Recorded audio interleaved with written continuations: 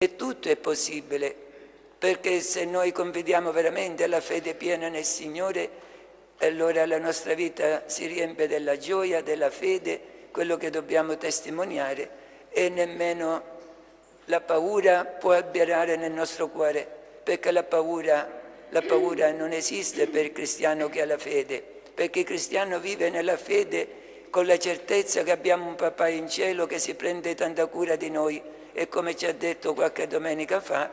quando un papà buono sa dare cose buone ai figli, quanto più ce le darà il papà del cielo. E allora confidare sempre nella sua infinita misericordia, ma sforzarci a vivere la gioia della fede e non avere paura dell'incontro con Lui, perché è un incontro che lo facciamo ogni giorno, chi partecipa ogni giorno all'Eucarestia,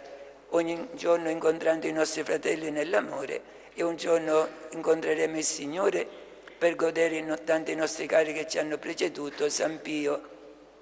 Santa Chiara, tanti santi nostri protettori che dal cielo ci sostengono, un giorno ci aspettano lì in cielo per godere per l'eternità la felicità che il Signore ci ha preparato e quello deve essere il nostro desiderio, dove il tuo tesoro, lì è il tuo cuore e il nostro tesoro è raggiungere quella meta perché il Signore ci ha creato, come ci hanno insegnato nel Catechismo, per conoscerlo, amarlo, servirlo in questa vita e poi goderlo in paradiso. Sia lodato Gesù Cristo.